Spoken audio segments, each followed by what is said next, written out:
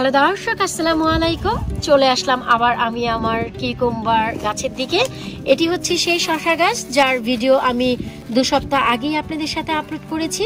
আজ আপনাদের সাথে আমি যে জিনিসটি শেয়ার করব একটু লক্ষ্য করলেই দেখবেন, পাতাটি কিন্তু অনেকটাই সাদা হয়ে গেছে। আর আমি প্রায় বলে থাকি যে মোজাইক রোগ, এই হচ্ছে মোজাইক রোগ যা অতিরিক্ত ঠান্ডা বা অতিরিক্ত গরমে এই কাজটি হয়।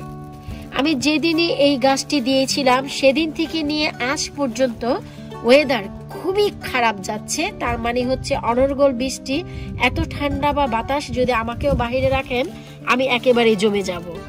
গাছগুলো যে বেঁচে আছে, এই হচ্ছে অনেক বেশি আমার জন্য।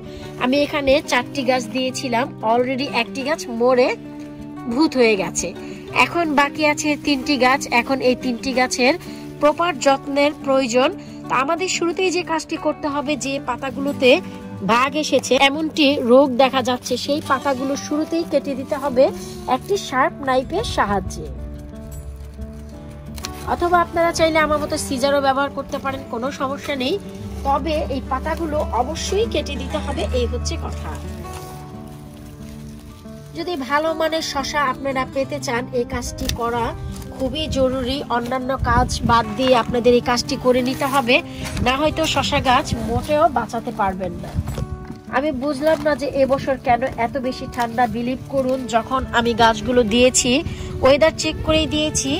জুন মাসের শেষের সপ্তাহ এটা। অথচ দেখুন যে আমার গাছগুলোর কি অবস্থা। এখনও বাড়েনি, কারণ বাড়বে কোথা থেকে? এত বেশি ঠান্ডা বাতাস পাচ্ছে। এখন তো শুধু আল্লাহর কাছে দোয়া করছি যেন গাছগুলো বেঁচে যায়। তবেই হবে আসল কাজ। আমরা মরা পাতাগুলো ফেলে দিয়েছি, দেখতে হবে কোনো আগাছা এসেছে কিনা। সেই আগাছাগুলো ফেলতে হবে, আর এই যে দেখুন, আমার একটি গাছ কিন্তু মরে গেছে। আসলে ঠান্ডায় এ সহ্য করতে পারেনি, তাই এই গাছটি মরে গেছে। আর মাসাল্লাহ বাকি তিনটি একেবারে হেসে খেলে বড় হচ্ছে। তো এখন হচ্ছে এই গাছের প্রপার যত্নের প্রয়োজন। কারণ মরা গাছ এখন চলে গেছে, এখন আমাদের থ্রি জি কাটিং করতে হবে এই গাছের জন্য। যেমন কি লাউ, মিষ্টি কোমর গাছে করে থাকি থ্রি জি কাটিং এই শশা গাছে হয়, শশা গাছে ওয়ান জি টু জি নেই। সরাসরি three G I mean third জেনারেশনের কাটিং হয়। শুরুতে যে কাজটি করতে হবে, এই যে দেখুন অনেক ফুল এসেছে। আর এগুলো হচ্ছে ছেলে ফুল, বিশ্বাস করুন, এই ফুলগুলো আমাদের কোনো প্রয়োজন নেই। শুরুতে এই ফুলগুলো আমাদের টেনে ছেড়ে ফেলতে হবে।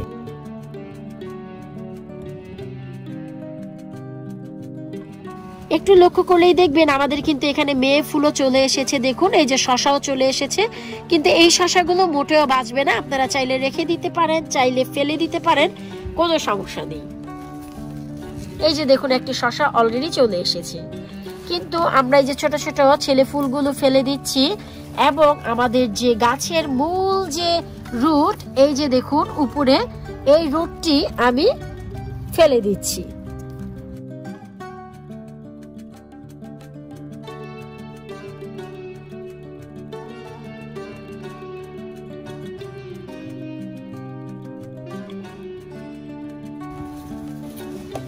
এবং ফুলগুলো সব ছিঁড়ে ফেলতে হবে।